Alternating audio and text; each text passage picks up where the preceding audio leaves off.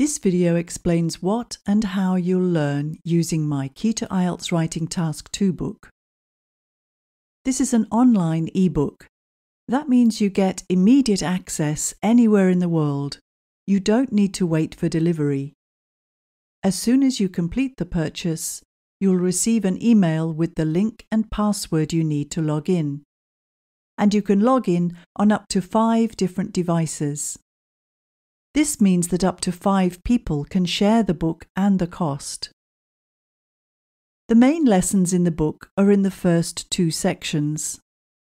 These sections show you step by step how to reach bands 7 to 9 in Writing Task 2.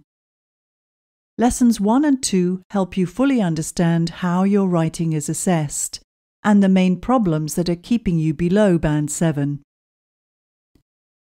Throughout the lessons, there's a particular focus on task response and coherence and cohesion, because these are often misunderstood or overlooked. Lessons 3 to 8 teach you how to make a clear argument, and the language needed to do that. Although the language may be familiar to you, you learn to see it in a new way.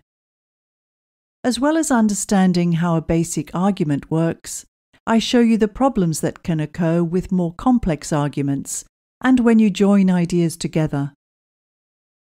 The book also answers the most common questions I'm asked, such as when and how to explain an idea, how to use examples, and how and when to include a counterargument.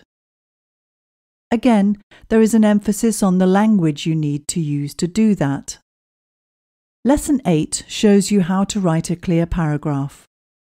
We do this by working on a typical Band 6.5 paragraph, looking at the main problems, then rewriting it to produce a Band 9 version of the paragraph.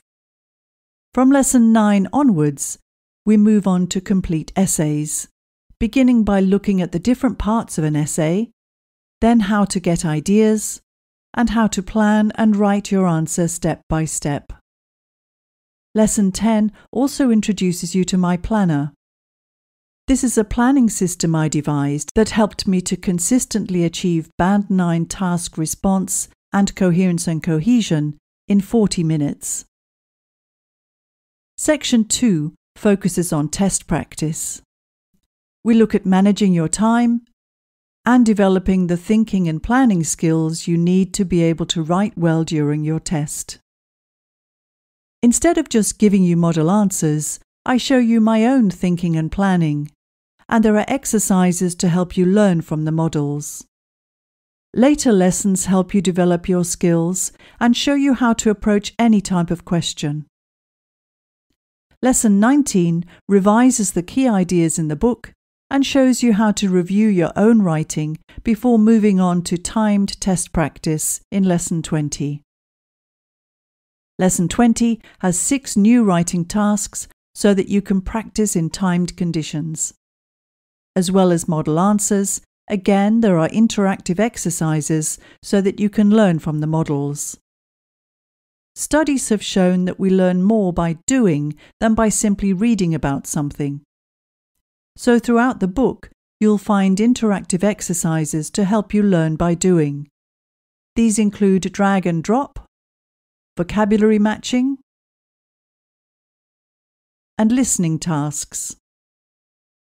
Schools have a great deal of influence on young children. The listening tasks have several benefits. As well as helping to develop your ear, they also increase your learning. With tasks like this, you have to work at getting the answer rather than just reading the model. Making mistakes and correcting them increases your learning and makes the learning process more interesting. There are listening exercises to help you improve accuracy, expand your vocabulary, improve collocation, work on coherence and cohesion, and practice key concepts from the lessons. An important feature of each lesson is the extra practice section at the end. Reading about complex ideas is not enough. To improve, you need to apply the ideas in your own writing. These tasks help you to review your work and check that you're doing that. The third section of the book has ideas for teachers and those aiming for bands 8 to 9. It discusses more test questions, has model answers, and teaching suggestions for the classroom. I'll be adding more lessons like this to the book. Active users of the book will automatically get any new updates. You can find all the links below, and I hope you enjoy using my books to finally reach your IELTS goal.